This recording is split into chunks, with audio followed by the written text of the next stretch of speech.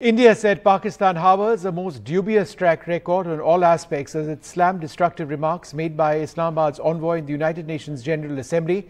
India's permanent representative to the UN ambassador Ruchira Kamboj's stern response came after Pakistan's UN envoy Munir Akram made lengthy remarks against India during his address to the UN General uh, Assembly meeting on culture and peace. Ms. Kamboj said, and I quote, we choose to set aside the remarks from a certain delegation which not only lack decorum but also detract from our collective efforts due to their destructive nature.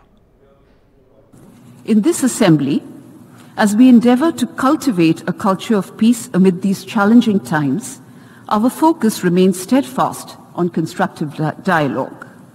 We thus choose to set aside the remarks from a certain delegation which not only lack decorum but also detract from our collective efforts due to their destructive and pernicious nature.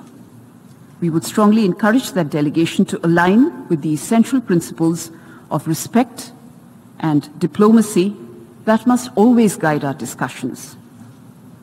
Or is that too much to ask of a country that harbors a most dubious track record on all aspects in itself? Mr. Akram Munir raised the issue of Ajodhya uh, CAA and internal political issues of India and it started targeting India over its internal law, law and order issues.